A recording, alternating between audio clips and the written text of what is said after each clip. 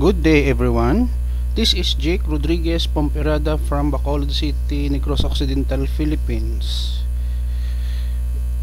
In this video tutorial, we will learn how to write a C++ program to compute the average grade of 5 subjects of a student.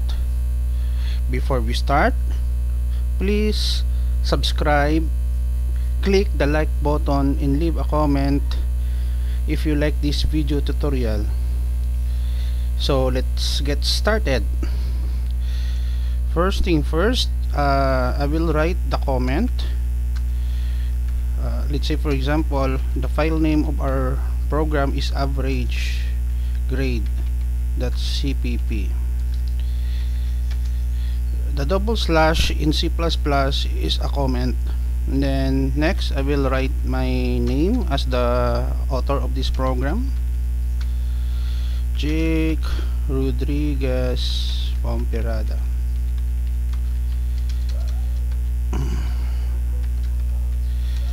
and then we will have a date. Today is September 27 2019 that is Friday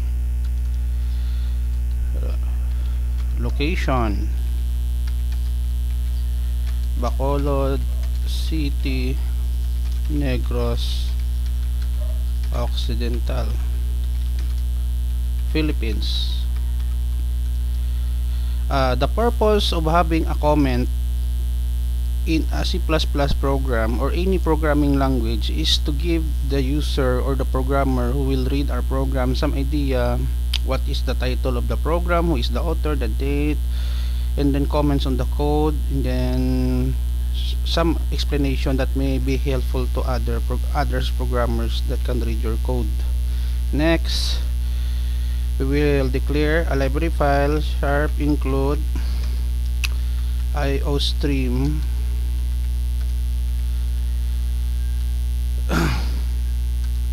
next we will include also another library file. Sharp include IO manip or input output manipulator. We will be using this library file for decimal places in our program using set w or set with int main. The function in C++ the starting point of any C++ program execution and I will ask the user to give grades na so int uh, science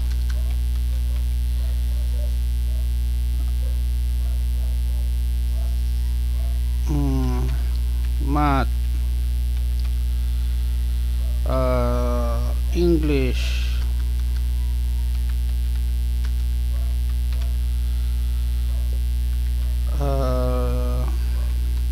next line. PE physical education. Then history. Okay. This is the five subjects. Next we will have float compute grade. Okay so I initialize with two decimal places. Next console out to new line. Console out the title of the program. Horizontal tab average grade solver in C++ this will be the title of our program. Next spacing again console out.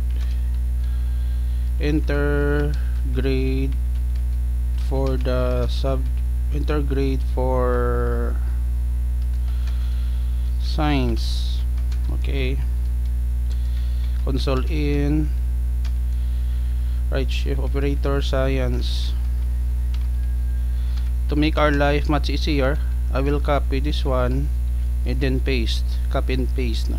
Control highlight control C control V. And then we just change this one from science to math. Here math also in our input. Copy we will copy this again. Mark control C control V to paste space. Ay sorry. Instead of science we have already English English. This one is uh, physical education. English. PE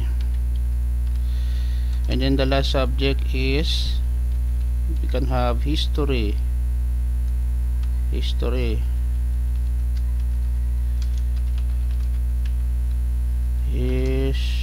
history now one of the tip that I would like to share with you guys is that when you declare a variable to be used in your program use meaningful names so that it is easier for you to understand what is the purpose of that particular variable and, and its, its content. And for other programmers that may look at your code it's easier for them to know the purpose of that particular variable also.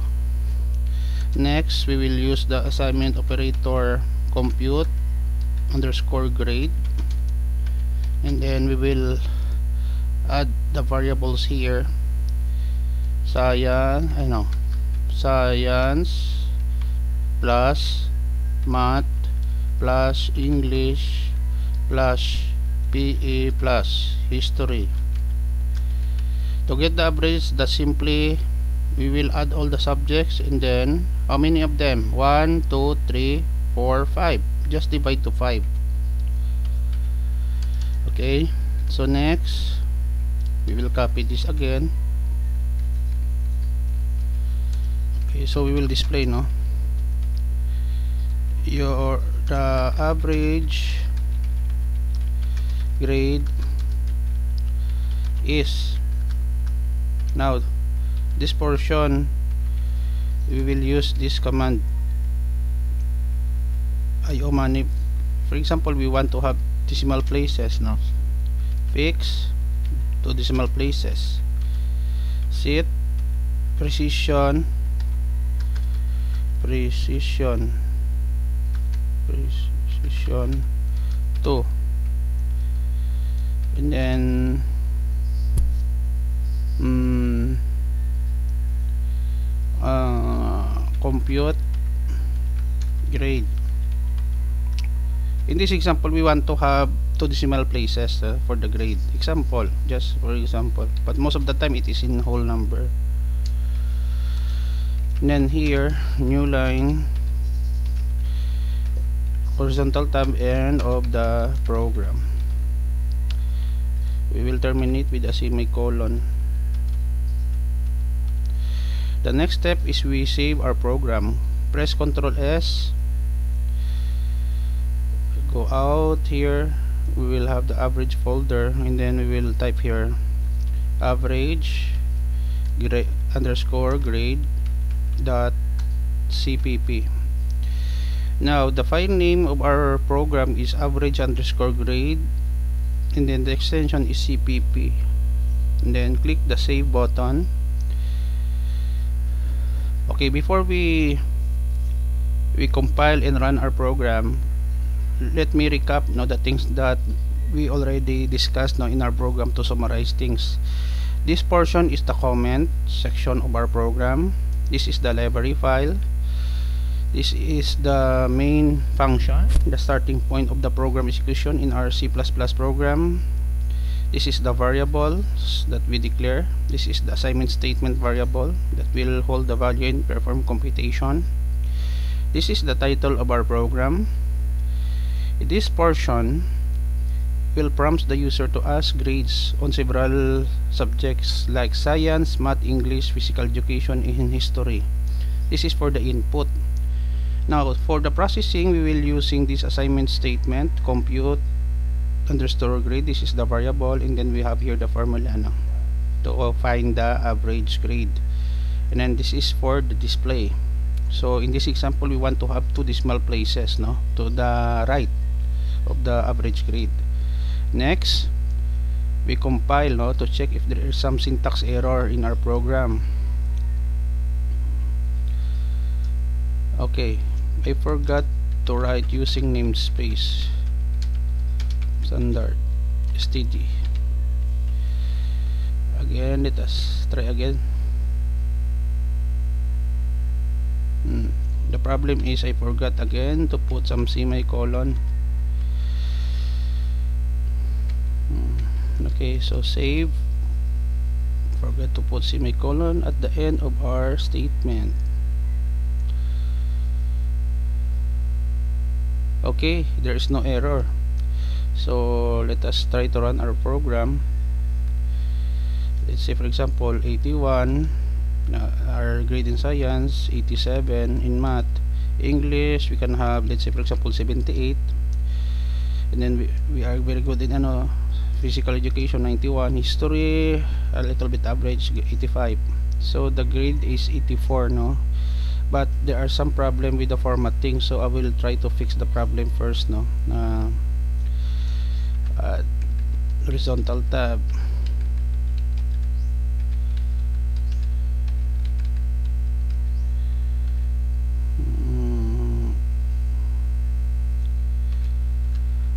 Okay. Okay let us save. Once again we will run our program. Compile and run. Okay. Science. Maybe we can have 82 83 math 87 English we are not good in English 75 just passing grade. PE 93 history we are just good at it. So the average grade is 85% so I hope guys that you have learned something in this tutorial video in C++ how to write a program that will ask the user for 5 grades in 5 subjects like science, math, English, physical, education, and history and then our program will compute for the average grade out of the 5 subjects. So if you like this video tutorial please click the like button leave a comment in the comment section of this uh, video tutorial and subscribe to my channel for more video tutorials. Thank you very much. Until the next video tutorial. Bye bye for now